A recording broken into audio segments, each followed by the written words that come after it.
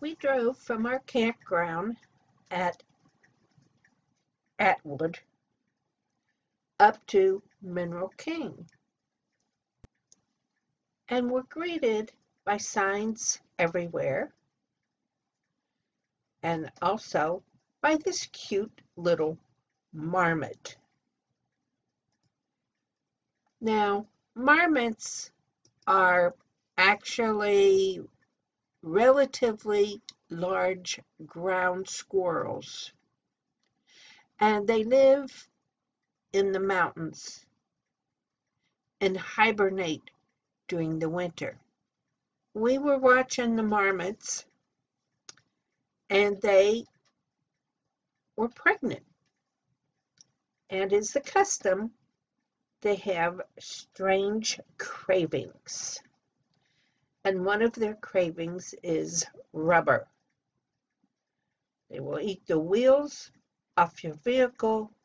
They will eat the wiring under the hood. Anything that is rubber, they eat.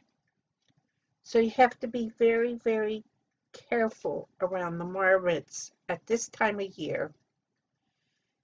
And we decided we didn't want to have to buy four new tires. So I stayed with the vehicle and Bruce went out and took the pictures.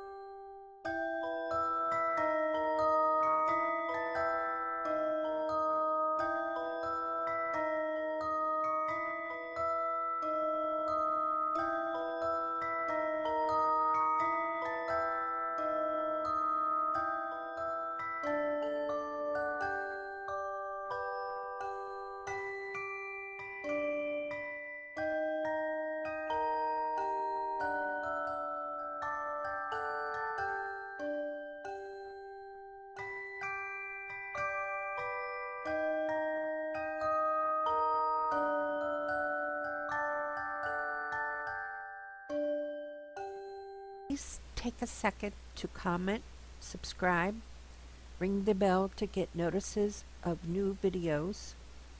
and please give a thumbs up.